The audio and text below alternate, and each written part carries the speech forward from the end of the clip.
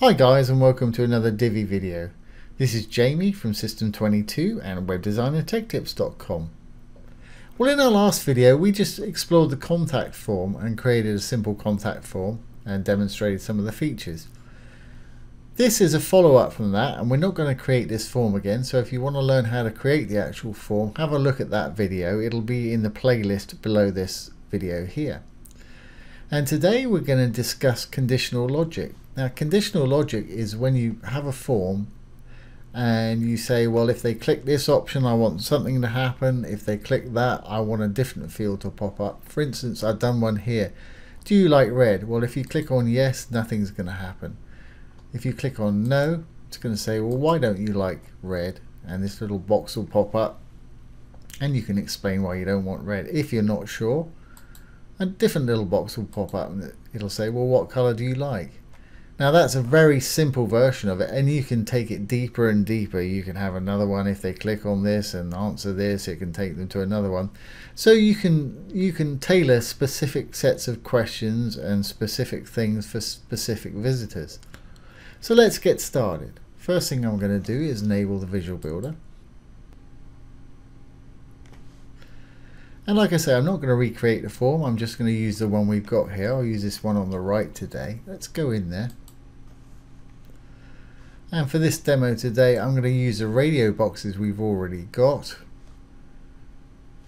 And I'm just going to change it to what we've got here. So if I go down to our radio boxes, there they are.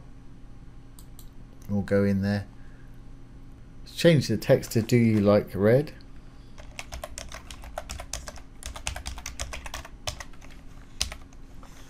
And we'll make that the field title as well. It's important to put the title in. You'll find out in a minute because you have to select this from your conditional logic when you create the field you want to pop up. So we change that to do you like red.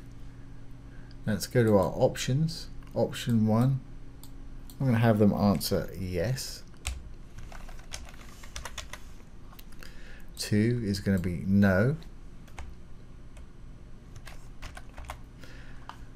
Three can be maybe or not sure or whatever you want it to be. This is just a simple example.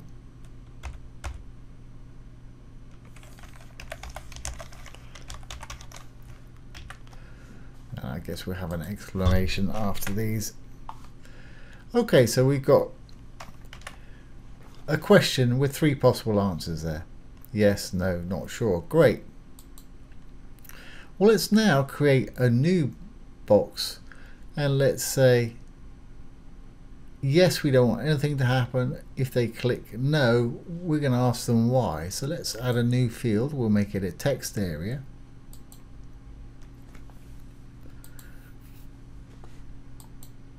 Text area.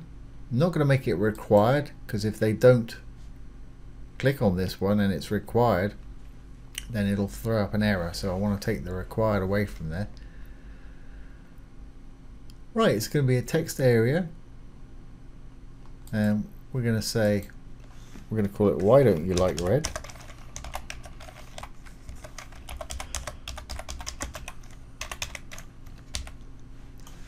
And we'll put that also for the title. Great.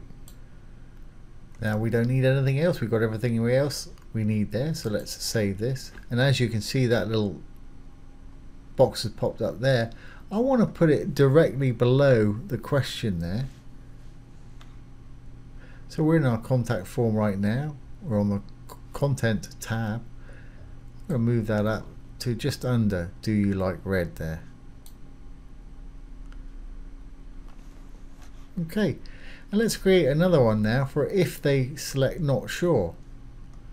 So let's add a new one and you can add radio buttons checkboxes and you can have that if they check this if they check that and it can cascade down. If you're going to get complex you might want to map this out on a piece of paper first. Okay. So at the top I'm going to say what color do you like?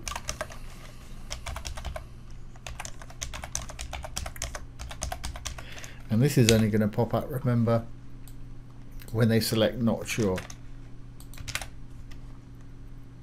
and what sort of field do we want to make it Well, they can only put in a certain amount of characters, so let's make it a an input field. Maximum length, let's say 15 characters.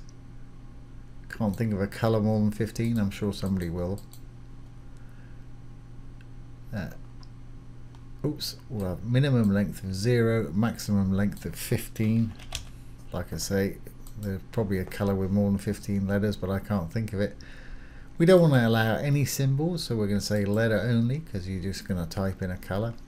And again, we're not going to make it a required field, because if they select yes or no and don't fill this out, it'll throw up an error. So that's not going to work. So that's it. We've pretty much done what we want here. So let's save this and save that. Save our changes and I can see that I should have put that what color do you like up here as well? So let's quickly do that. So we'll go back in here. And I simply want to drag this up above the message there and we're good to go. Okay now we've added our fields let's go into our fields and apply the conditional logic. Why don't you like red? We'll go in there. We'll go down to conditional logic we'll hit the enable button and we will we'll say this one we only want it to pop up if they say no I don't like red. So we'll say do you like red is the title of the radio buttons there. And if it equals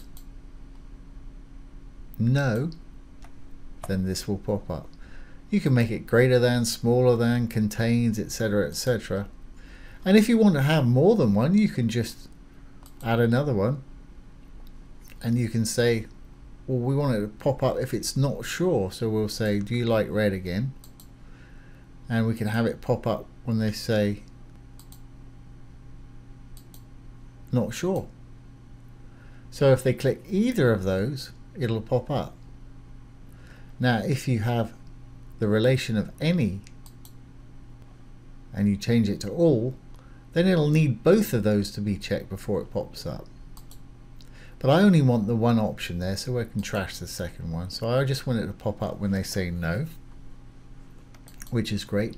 Now let's go into our next box, which is what color do you like? And we only want that to pop up if they say not sure. So let's hit the little cog go down a conditional logic, enable, and we'll say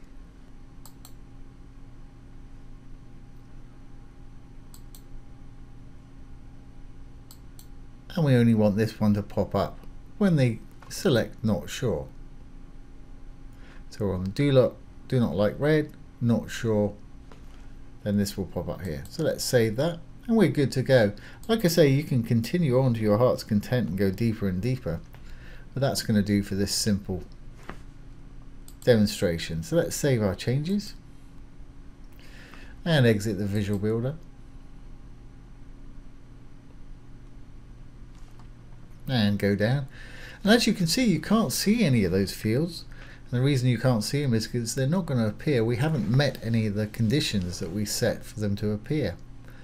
So do you like red? Yes, nothing's going to happen. We didn't say anything for that. Do you like red? No. Why don't you like red? That little text box box has popped up and you can just fill it out. If they say not sure, what what color do you like? And they can fill that out with whatever they want to put in there. So that's a brief overview of conditional logic. I hope that made sense to you. It's pretty simple. Like I say, if you want to get complex, you might want to map it out on a piece of paper first.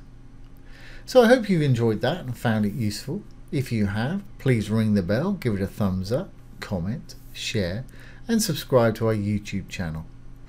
Once again, this has been Jamie from System22 and WebDesignAndTechTips.com. Thanks for watching. Have a great day.